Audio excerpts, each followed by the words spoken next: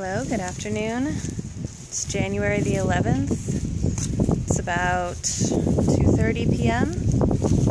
and it's a really beautiful day outside. It's about 70 degrees and I figured we would go pick some lemons because we need some lemons. Here's a lemon.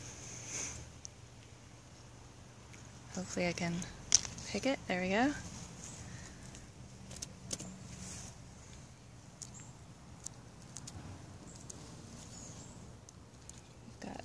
Lots and lots of lemons.